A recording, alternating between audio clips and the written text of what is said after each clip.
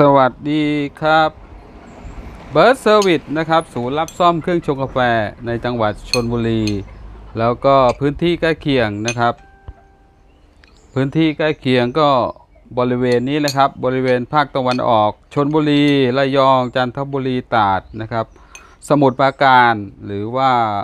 สระแก้วนะครับปราจีนฉะเชิงเทราแปดริ้วนะครับ เพื่อนๆที่เปิดร้านซ่อม กาแฟไม่ใช่เปิดร้านซ่อมนะครับ ขายกาแฟสดอยู่นะครับ เพื่อนๆที่ขายกาแฟสดอยู่นะครับ ก็อย่าลืมนะครับ หาช่างนะครับ ไว้คอยปรึกษานะครับ ไว้ที่เป็นเป็นที่ปรึกษานะครับ เครื่องเมื่อมีปัญหานะครับ ก็จะได้โทรติดต่อสอบถามได้ทันท่วงทีนะครับ สำหรับเพื่อนเพื่อนนะครับที่อยู่ต่างจังหวัดนะครับ อยู่จังหวัดไหนก็แล้วแต่ก็ลองหาช่างในพื้นที่ดูก่อนนะครับ ถ้าหาช่างไม่ได้ก็ลองโทรมาปรึกษา หรือสอบถามได้นะครับเผื่อบางครั้งบางอาการนะครับ เพื่อนๆก็สามารถที่จะแก้ไขปัญหาเบื้องต้นเองได้นะครับ หรือหาคนในครอบครัวนะครับ ช่วยแก้ไขนะครับ เพราะว่าเข้าใจว่า บางพื้นที่นะครับช่างซ่อมเครื่องกาแฟหายากมากนะครับ เพราะฉะนั้นถ้าอ่าเพื่อนๆนะครับที่มีร้านขายกาแฟสดอยู่นะครับ พอที่จะมีพื้นฐานในเรื่องของช่าง หรือว่าคนในครอบครัวนะครับ มีพื้นฐานก็สามารถที่จะวิเคราะห์หรือแก้ไขเบื้องต้นได้นะครับ ย้ำนะครับเป็น แค่การแก้ไขเบื้องต้นนะครับ ถ้าปัญหาเยอะๆ ปัญหาลึกๆนะครับ ต้องปรึกษาช่างนะครับ หรือว่าต้องส่งให้ช่างนะครับ เป็นผู้แก้ไขนะครับ เพราะว่าปัญหาเล็กๆ ก็จะกลายเป็นปัญหาใหญ่ได้นะครับ เพราะฉะนั้นก็อย่าลืมนะครับ โทรมาปรึกษาหรือสอบถามช่างเบิร์ดนะครับ 0814323756 นะครับ เมมเบอร์แล้วก็ add ไลน์ไว้นะครับ เผื่อว่าช่วงจังหวะเวลานะครับที่มีปัญหาก็จะได้นึกถึงหรือนึกออกนะครับว่าได้ add ไลน์ช่างเบิร์ดไว้ หรือว่าเมมเบอร์ช่างเบิร์ดไว้นะครับ ง่ายต่อการติดต่อ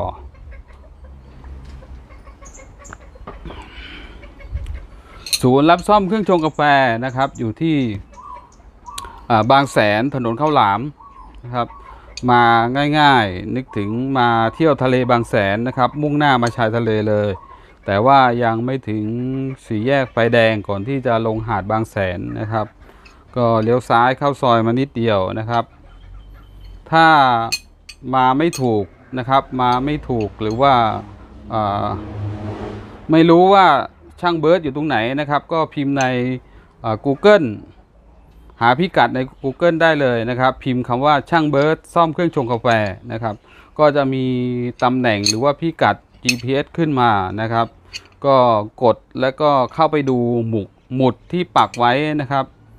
หมุดที่ปักไว้เข้าซอยมันนิดเดียวนะครับ อยู่ถนนข้าวหลาม บางแสนชนบุรีนะครับ ถ้าเพื่อนๆ มาไม่ถูกจริง ๆนะครับ ก็โทรมาสอบถามได้นะครับว่าามาเส้นข้าวหลาม เส้นข้าวหลามอยู่ตรงไหน ใช่เส้นเดียวกับมอบูหรือเปล่านะครับ เป็นเส้นคู่ขนานกันนะครับกับมอบูรพา แต่ว่าจุดหมายปลายทางก็คือลงหาดบางแสนเหมือนกันนะครับ มาง่ายๆนะครับไม่ยากเลยนะครับบางครั้งนะครับจะซ่อมเครื่องกาแฟ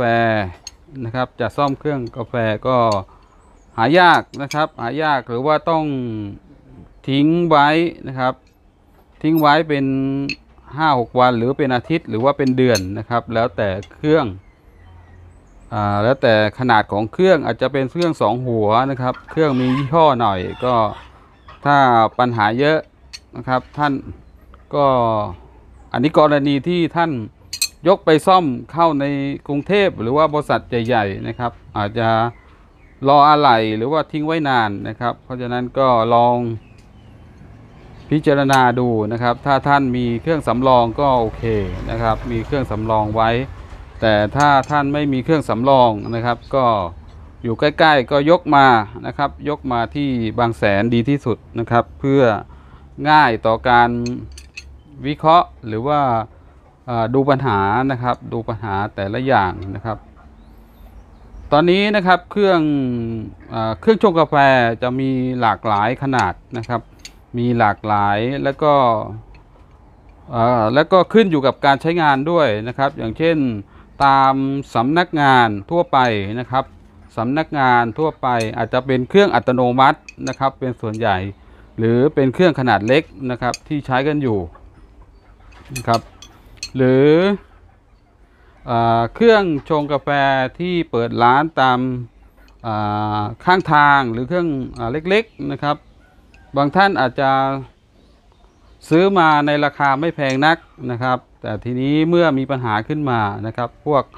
อุปกรณ์หรือว่าอะไหล่ต่างๆนะครับอะไหล่ต่างๆอ่าก็จะหายากนิดนึงนะครับ เพราะว่าเป็นเครื่องเฉพาะของแต่ละยี่ห้อ ปัญหาต่างๆ ถ้าราคาถูกเกินไปนะครับ ราคาถูกเกินไปมันก็จะใช้ได้ไม่นาน แล้วก็ใช้ได้ไม่ทนนะครับ แล้วก็การซ่อมก็จะ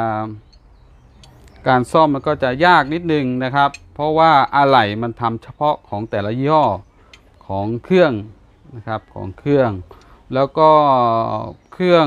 อัตโนมัติที่ว่าที่ใช้ตามสำนักงานนะครับ มันก็เป็นลิขสิทธิ์เฉพาะของแต่ละยี่ห้อเหมือนกัน แล้วก็การประกอบหรือว่าการ การทำขึ้นมามันก็เป็นเฉพาะนะครับ เพราะฉะนั้นก็จะซับซ้อนปัญหาบางอย่างมันก็แก้ไม่หายนะครับ แก้หายแต่ว่าก็กลับมาเป็นอีกนะครับ เมื่อมาเมื่อเกิดการใช้งานไปสักพักหนึ่งนะครับ ก็ปัญหาก็จะหมุนเวียนมาเรื่อยๆนะครับ เพราะฉะนั้นตอนนี้เครื่องอ,อัตโนมัตินะครับที่ร้านไม่ได้รับซ่อมนะครับ ไม่ได้รับซ่อมแล้วรับเฉพาะเครื่องเอ่อ เป็น manual หรือว่ากึ่ง manual ทั่วไปที่ไม่ใช่เครื่องอัตโนมัตินะครับ ก็โทรมาสอบถามหรือว่าเอ่อ add ไลน์มาให้ดูก่อนได้นะครับ ติดต่อช่างเบิร์ด081 432 3756 นะครับ หรือว่าส่งเป็นคลิปวิดีโอมานะครับ ให้ดูว่าอ่ามันเป็นเครื่องอัตโนมัติ หรือว่าเครื่องเมนวลนะครับ ก็ ตอนนี้ช่วงนี้โทรสอบถามเข้ามาเยอะนะครับ แต่ก็ให้คำปรึกษาได้นะครับ ให้คำปรึกษาสำหรับท่านที่บางท่านนะครับ อาจจะแก้ไขหรือว่าเปิดเครื่องดูภายในเองได้นะครับ ก็จะยินดีที่จะให้คำแนะนำนะครับ แต่ว่าจะให้รับซ่อมตอนนี้เครื่องก็จะเยอะนิดหนึ่งนะครับ บางครั้งมันต้องใช้เวลานานนะครับสำหรับเครื่องอัตโนมัติ เพราะว่ามัน การประกอบมาค่อนข้างจะละเอียดนะครับ แล้วก็ปัญหาก็จะ ปัญหามันก็จะยากนิดหนึ่งนะครับ ในการแก้ไข เพราะฉะนั้นก็ลองหาก่อนที่จะซื้อมานะครับ ท่านก็ลองสอบถามดูก่อนนะครับว่าเครื่องอัตโนมัติรับประกันไหมกี่เดือนนะครับ มีศูนย์ซ่อมหรือไม่นะครับ ศูนย์ซ่อมภายในจังหวัดที่ท่านอยู่ก็ มีศูนย์ตรงไหนได้บ้างนะครับ หรือว่าามีช่างที่จะคอยแก้ไขเครื่องอัตโนมัติหรือไม่นะครับ เพราะฉะนั้นเครื่องชงกาแฟนะครับที่ท่านซื้อมา มันก็จะมีปัญหาอย่างใดอย่างหนึ่งแน่นอนในอนาคตนะครับ เพราะฉะนั้นก่อนที่จะซื้อนะครับ ก่อนที่ท่านจะซื้อเครื่องชงกาแฟก็ลองสอบถามนะครับอสอบถาม ปัญหาต่างๆที่อาจจะเกิดขึ้นอย่างเช่น อะไรมีขายที่ไหนได้บ้าง หรือว่าร้านซ่อมเครื่องอัตโนมัตินะครับ มีที่ไหนบ้าง หรือว่าศูนย์ซ่อมนะครับของบริษัทรับซ่อมหรือไม่นะครับ ก็ลองคุยรายละเอียดต่างๆดูนะครับ ก่อนที่จะท่านจะซื้อมาอใช้งานนะครับ ไม่ว่าจะซื้อมา ใช้ในสำนักงานหรือว่าซื้อมาชงขายตามร้านทั่วไปนะครับ ตามร้านหรือว่าตามโรงงานนะครับ ตามโรงงานก็ลองโทรมาสอบถามดูก่อนได้นะครับสำหรับท่านที่มองหาเครื่องชงกาแฟอยู่นะครับเครื่องชงกาแฟไว้ใช้งานนะครับ ก็ให้คำแนะนำได้นะครับเป็นลายๆไป เพราะว่า ต้องถามรายละเอียดก่อนว่าท่านจะเอาไปใช้ประเภทไหนนะครับ หรือว่าใช้ชงขายยังไงนะครับ เพราะว่ามันก็ต้องเลือกเครื่องชงกาแฟให้เหมาะสมกับการใช้งานนะครับ แล้วก็ยี่ห้อนะครับ ยี่ห้อต่างๆว่ามีอะไรนะครับ อะไรหรือไม่หรืออะไรหายาก มากน้อยขนาดไหน แล้วก็การบำรุงรักษา maintenance นะครับ มันจะคุ้มหรือไม่ในแต่ละกรณีไปนะครับ เพราะฉะนั้น ก็โทรมาคุยนะครับ สอบถามก่อนได้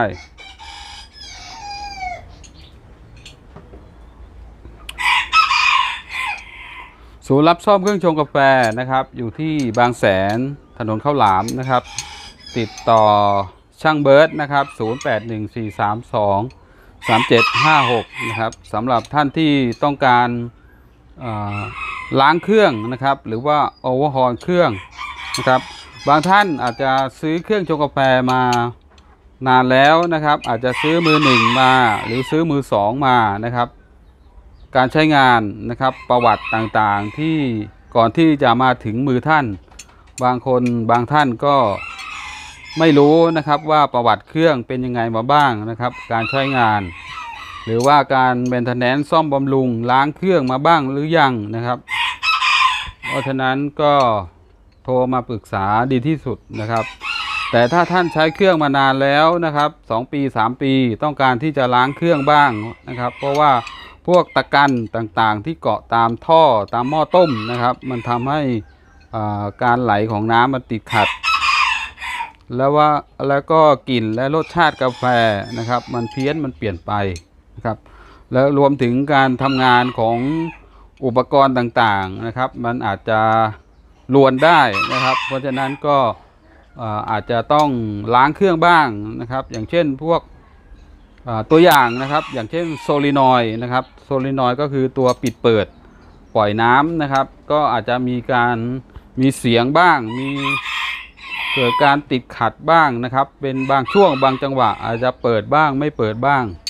หรือติดติดขัดขัดนะครับ อันนี้ก็คือมันมันส่อแววมันมีอาการแล้วนะครับว่าต้องแล้วนะครับ ต้องหาหมอหน่อย ต้องพาไปดูแลนะครับ ล้างหน่อยนะครับ หรือว่าเราเปิดฝาเครื่องแกะเครื่องออกมาดูข้างๆแล้ว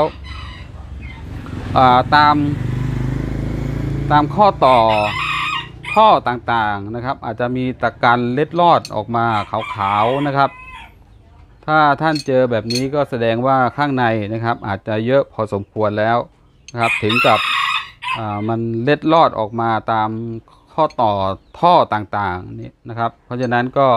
แสดงว่าตะการข้างในเริ่มจะเยอะแล้วนะครับ เป็นการวิเคราะห์หรือว่าดูเบื้องต้นนะครับว่า เครื่องของเราที่ใช้งานมาทุกวันนะครับ เป็นยังไงบ้างนะครับ แล้วก็บางท่านนะครับมีลูกน้องนะครับ มีลูกน้องใช้เครื่องกาแฟอยู่นะครับไม่ได้ดูหน้างานหน้าเครื่องนะครับ บางครั้งอาจจะเจออะไรผิดปกติได้นะครับ อย่างเช่น มีเสียงไอ้น้ำรั่วออกมาตอนทำงาน หรือว่าตอนไม่ได้ใช้งานนะครับ หรือว่ามีน้ำหยดมีน้ำรั่ว นะครับ มีน้ำหยดมีน้ำรั่ว ก็ต้องถามนะครับผู้ใช้หรือว่าคนที่อยู่หน้างานนะครับว่าเจออะไรผิดปกติก็ ต้องให้รีบแจ้งรีบบอกนะครับ เพราะว่าถ้าปล่อยทิ้งไว้อาการมันก็จะเอ่อเรื้อรังแล้วก็เป็นเยอะขึ้นมากนะครับ เป็นมากขึ้นเรื่อยๆนะครับ เพราะฉะนั้นก็ต้องแจ้งผู้ที่อยู่หน้างานนะครับ ถ้าพบเจอหรือว่า เห็นอะไรผิดปกตินะครับ ต้องรีบแจ้งหัวหน้าหรือว่าต้องแจ้งเจ้าของร้านนะครับ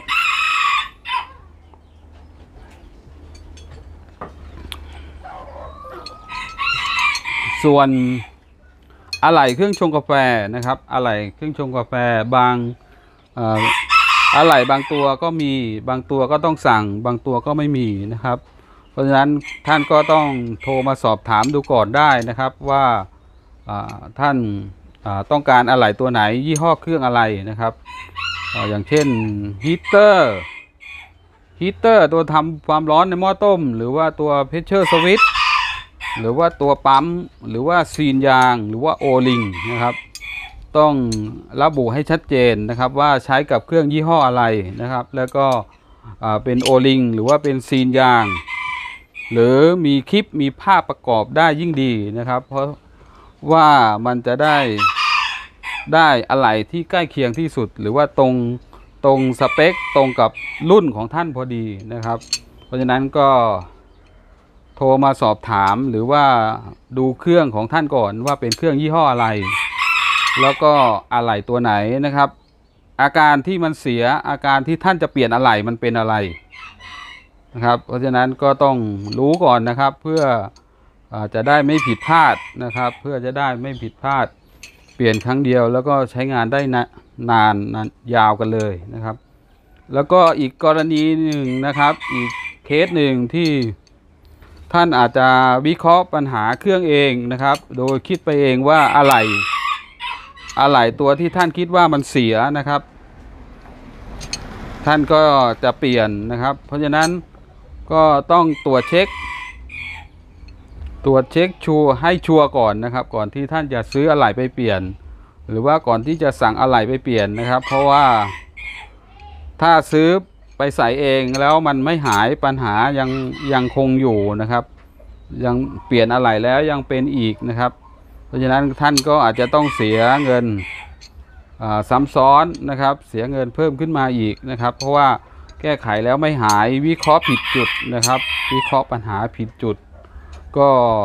ดีที่สุดนะครับโทรมาสอบถามดูก่อนได้นะครับ เพราะว่าบางครั้งเราอาจจะมองมองหรือว่าวิเคราะห์ปัญหาผิดไปนะครับ จากปัญหาเล็กๆ ก็อาจจะเป็นปัญหาใหญ่ได้นะครับ ดีที่สุดก็ถ่ายคลิปหรือว่ามีดีโอนะครับ โทรมาสอบถามปรึกษาก่อนได้นะครับ ดีที่สุดนะครับ สำหรับท่านที่ล้างเครื่องนะครับ ต้องการล้างเครื่องก็แจ้งไปแล้วนะครับ ติดต่อสอบถามได้นะครับว่าเครื่องของท่านยี่ห้ออะไรนะครับ ต้องการมาล้างเครื่อง ล้างเครื่องต้องทิ้งไว้นะครับ เพราะว่ามันต้องใช้เวลานะครับในการล้างครับ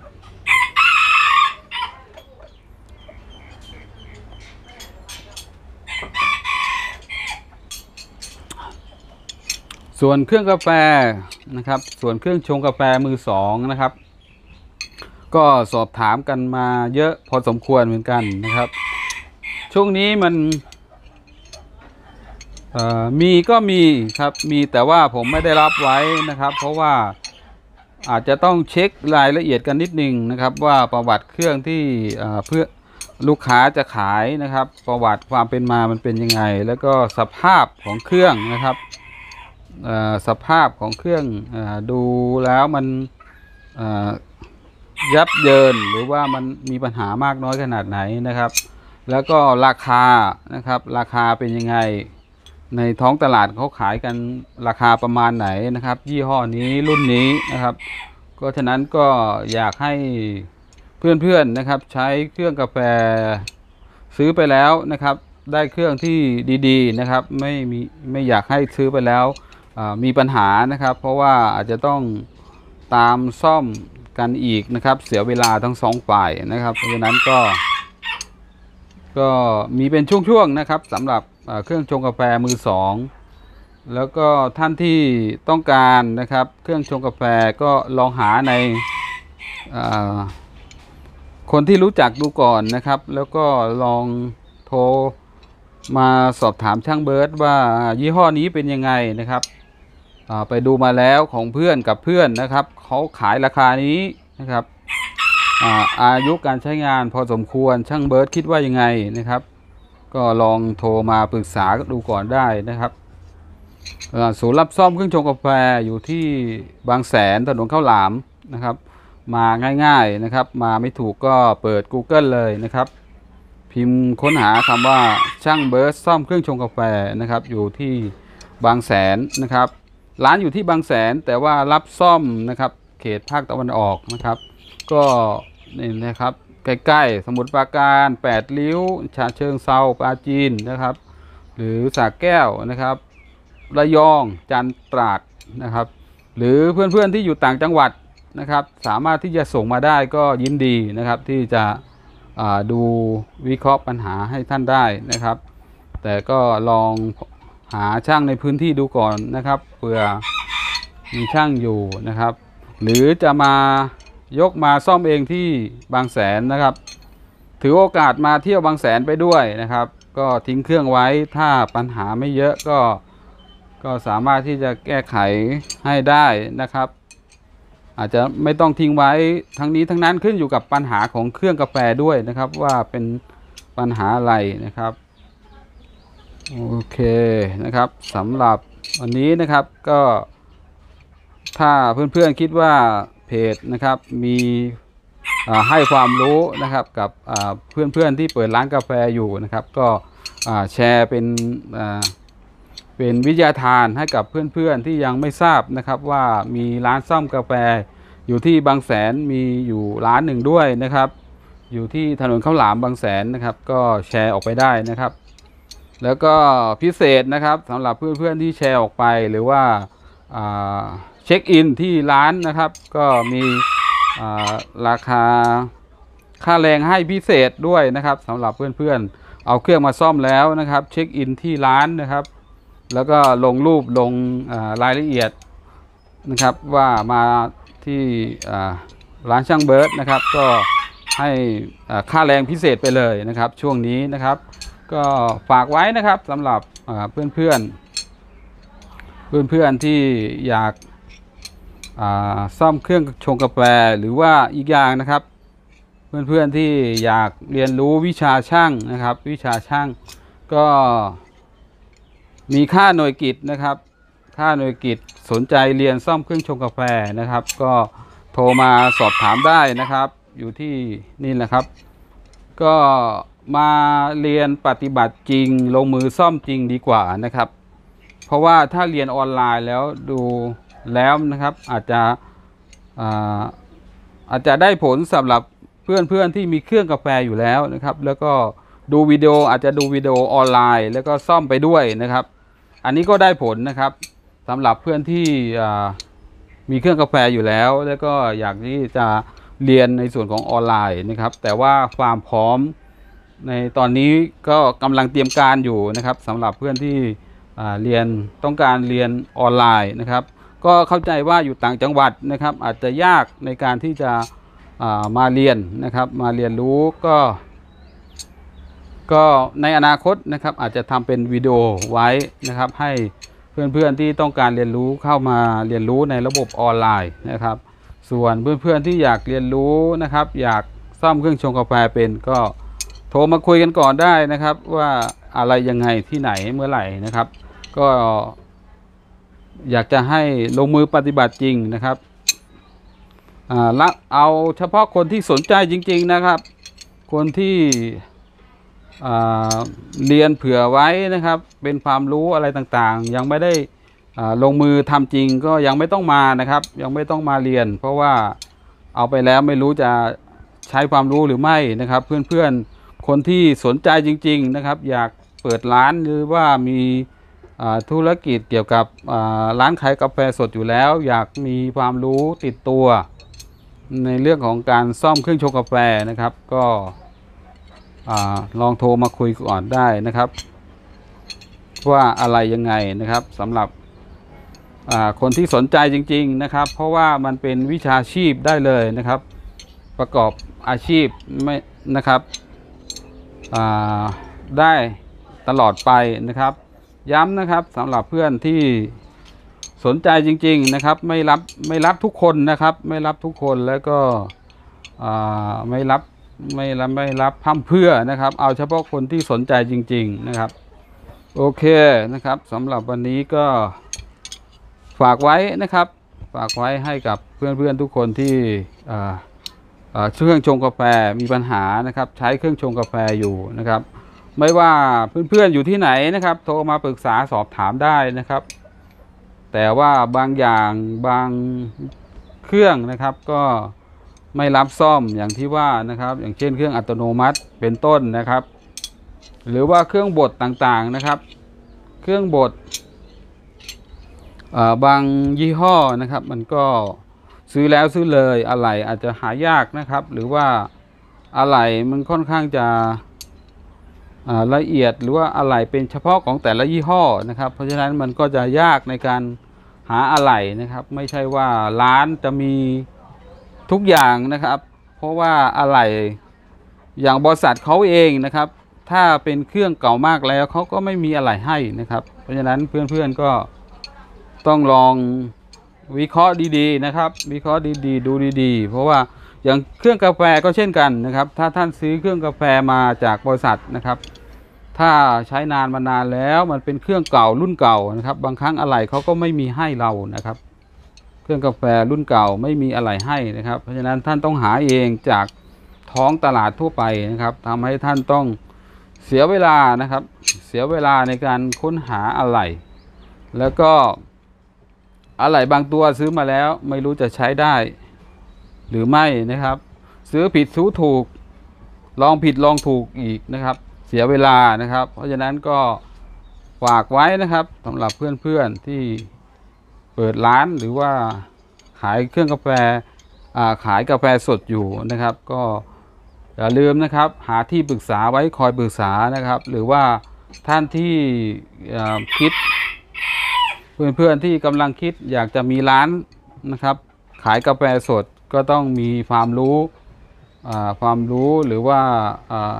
เทคนิคต่างๆบ้างนะครับ ในส่วนของเครื่องชงกาแฟนะครับว่ายี่ห้ออันไหนดีในท้องตลาดที่เขาใช้กันอยู่อะไรหาง่ายนะครับ ปัญหาไม่จุกจิกนะครับ ปัญหาไม่จุกจิกแล้วก็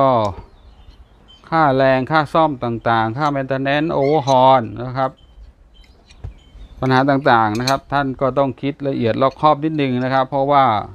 เดี๋ยวไปเจออะไหล่ราคาสูง ไปเจอค่าแรงราคาสูงนะครับท่านอาจจะหงุดหงิดกวนใจได้นะครับ เพราะฉะนั้นท่านซื้อเครื่องชงกาแฟมาราคาไม่ใช่ถูกๆนะครับ ราคาใหม่ ๆ ก็เป็นแสน เพราะฉะนั้น ค่าอะไหล่กับค่าแรงนะครับ มันก็จะแพงหรือก็สูงตามด้วยนะครับ เช่นท่านซื้อรถรถอ่ารถที่ท่านขับอยู่นะครับ ท่านซื้อรถอ่าญี่ปุ่นทั่วไปกับรถยุยุโรปนะครับ ราคาหรือว่าอะไหล่หรือค่า maintenance ค่าแรงต่างๆ มันก็แตกต่างกันนะครับ เพราะฉะนั้นก็คิดดูดีๆนะครับ คิดดูดีๆ ปัญหาต่างๆ มันมันก็ มันก็มีมานะครับ จะทำอะไรก็ต้องคิดหน้าคิดหลังดีๆนะครับ โอเคนะครับ ช่างเบิร์ดนะครับ ศูนย์รับซ่อมเครื่องชงกาแฟในจังหวัดชนบุรี แล้วก็พื้นที่ใกล้เคียงนะครับ โอเคพบกันใหม่ในโอกาสต่อไปนะครับ สวัสดีครับ